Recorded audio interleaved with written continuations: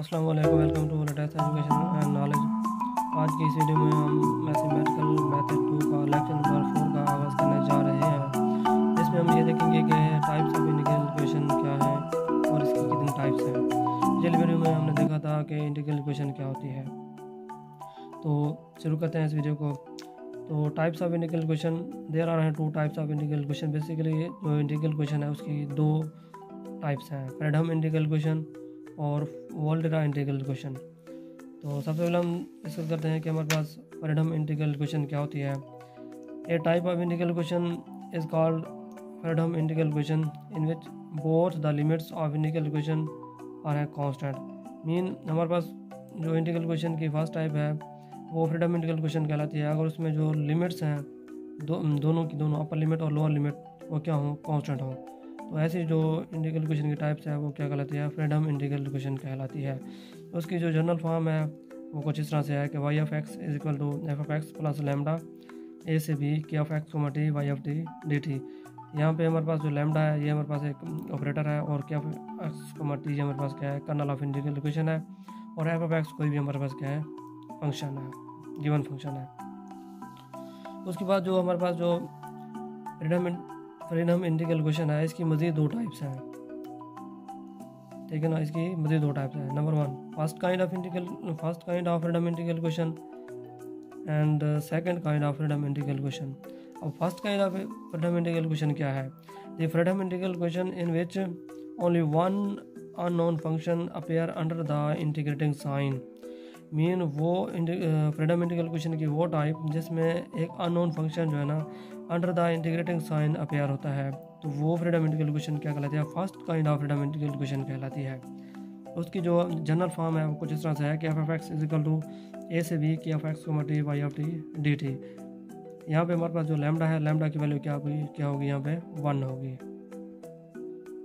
अब एग्जांपल क्या है? First kind of Fredholm integral equation की वो कुछ इस तरह से है कि f f x is equal to minus infinity से positive infinity x minus t phi of t d t यहाँ पे हमारे पास जो एक्स माइनस टी है, वो हमारे पास क्या है? के एफ़ एक्स को टी के वाला कर्नल ऑफ़ इंटीग्रल इक्वेशन है। और यहाँ पे जो लैमडा की वैल्यू है वो लैमडा की वैल्यू है, वो क्या है? हमारे पास इन जनरल वन है। अगर कुछ नहीं होगी तो वो वन होगी, ठीक है ना? उसके बाद हमारे पास second kind of Fredholm integral equation क्या है? The Fredholm integral equation in which one unknown function is appear outside the integral sign mean एक अननोन फ़ंक्शन अपेयर होगा under the sorry outside the integral equation outside the integral sign वो जो form होगी वो integral equation की वो क्या कहलाएगी? Fredholm integral equation of second kind कहलाएगी। जो जनरल फॉर्म है second kind of Fredholm integral equation की वो क्या है? F f x y f x is equal to f f x plus lambda a से b K of x multi y f t d t इसकी example क्या है? Fredholm integral equation of second kind की वो कुछ इस तरह से है कि phi of x is equal to f f x plus lambda minus infinity से infinity x minus t i of t d t यहाँ पे हमारे पास लेमडा किसके इक्वल है? लेमडा के इक्वल है और एफ़ एफ़ एक्स किसके इक्वल है? एफ़ एफ़ एक्स के इक्वल है। और के ऑफ़ एक्स को टी किसके इक्वल है? एक्स माइनस टी के। ठीक है ना? इसको हम लिखें तो इस तरह भी लिख सकते हैं कि यहाँ पे हमारे पास क्या है? एफ़ एफ़ एक्स किसके इक्वल होगा? एफ़ एफ़ एक्स के। और लेमडा किसके इक्वल है? लेमडा के। और के ऑफ़ यानी कि kernel of t integral equation किसके इक्वल है? एक्स माइनस ठीक है उसके बाद हम डिस्कस करते हैं कि हमारे पास वोल्ट्रा इंटीग्रल इक्वेशन क्या होती है? The integral equation in which one limit is constant and other limit is variable then the equation is called Volterra integral equation mean हमारे पास integral equation Volterra integral equation तब कहलाती है कि अगर उसमें एक जो लिमिट है अपर हो या लोअर हो कांस्टेंट हो और एक क्या हो वेरिएबल हो तो वो जो इंटीग्रल इक्वेशन होती है हमारे पास वो क्या कहलाती है? वोल्ट्रा इंटीग्रल इक्वेशन कहलाती है। उसकी जनरल फॉर्म क्या है हमारे पास? वोल्ट्रा इंटीग्रल इक्वेशन की। वो कुछ इस तरह से है कि y of x is equal to f of x plus lambda a से एक्स के एफ़ एक्स को t y of t d t अब यहाँ पे देखें तो हमारे पास एक लिमिट क्या है? कॉन्स्टेंट है। और एक लिमिट हमारे पास क्या है? वेरिएबल है एक्स तो ये हमारे पास क्या है? वोल्ट्रा इंटीग्रल क्वेश्चन है। अब वोल्ट्रा इंटीग्रल क्वेश्चन की भी दो टाइप्स हैं। First kind of Volterra integral equation and second kind of Volterra integral equation अब first kind of Volterra integral equation क्या है? The Volterra integral equation in which only one unknown function appear under the integral sign mean वो Volterra integral question जिसमें एक unknown function appear होता है under the integral sign वो question हमारे पास क्या कहलाती है? Integral Volterra integral equation of first kind कहलाती है। उसकी जनरल फॉर्म क्या है हमारे पास? F of x is equal to a से x k of x d y of t d t ये हमारे पास क्या जनरल फॉर्म है? Volterra integral equation of first kind की। ये अब इसकी एग्जांपल क्या है? F f x is equal to a से x x minus t five f t d t यहाँ पर हमारे पास अगर हम देखें तो हमारे पास जो एफ़ एफ़ एक्स है वो एफ़ एफ़ एक्स के इक्वल है। ठीक है ना?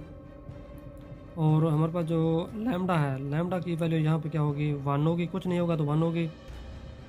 और जो हमारे पास कर्नल ऑफ़ यानी कि के एफ़ एक्स टी उसकी वैल्यू क्या है हमारे पास? के एफ़ एक्स टी उसकी वैल्यू है हमारे पास एक्स माइनस ठीक है उसके बाद हमारे पास second kind of Volterra integral equation क्या है?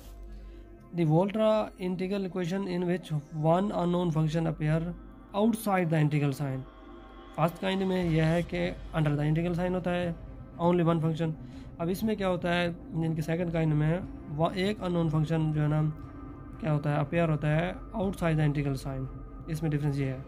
तो वो है इंटीग्रल क्वेश्चन हमारे पास क्या कहलाती है? Second kind of integral equation कहलाती है। उसकी एग्जांपल क्या है? Y of x is equal to f of x plus lambda a से एक्स के एफ़ एक्स मटी y of t d t ये हमारे पास क्या है? जनरल फॉर्म है second kind of integral equation की, ठीक है ना? और जो एग्जांपल है कि five f x is equal to x plus a से x x x minus t five f t d t अब यहाँ पे देखें तो हमारे पास, जो हमारे पास एफ़ एफ़ एक्स की वैल्यू है, वो क्या दी गई है? एक्स के। और k of x comma t की वैल्यू क्या दी गई है? हमारे पास एक्स माइनस टी के। और जो हमारे पास लैमडा की वैल्यू दी गई है, वो क्या दी गई है? वन है मीन कुछ नहीं होगा तो वो हम लेमडा की वैल्यू हो जाए ना? वन लेंगे जर्नल उसके बाद हम, मैं दोबारा डिवाइड कर देता हूँ कि हमारे पास हमने पढ़ा है कि हमारे पास इंटीग्रल इक्वेशन की दो टाइप्स होती हैं. नंबर वन पैराडाम इंटीग्रल इक्वेशन हम और जो दूसरी टाइप है हमारे पास क्या है? Volterra integral equation Volterra integral equation first kind में हमारे पास क्या होता है कि जो लिमिट्स जिनके फ़र्स्ट काइंड में होता यह है कि हमारे पास जो लिमिट्स होती हैं इंटीग्रल की, वो दोनों क्या होती हैं? कांस्टेंट होती हैं। जो वोल्ट इंटीग्रल क्वेश्चन है, उसमें क्या होता है कि एक लिमिट क्या होती है? कांस्टेंट होती है और एक क्या होती है? वेरिएबल होती है। वो अपर लिमिट भी हो सकती है लोअर लिमिट भी हो सकती है, यानी कि हम इसको इस तरह भी लिख सकते हैं। ये थी हमारी आज वीडियो। अगर इस वीडियो में कोई बात समझ नहीं होता मुझसे कमेंट सेक्शन में पूछ सकते हैं। Thanks for watching this video channel को सब्सक्राइब और वीडियो को लाइक करना ना भूलें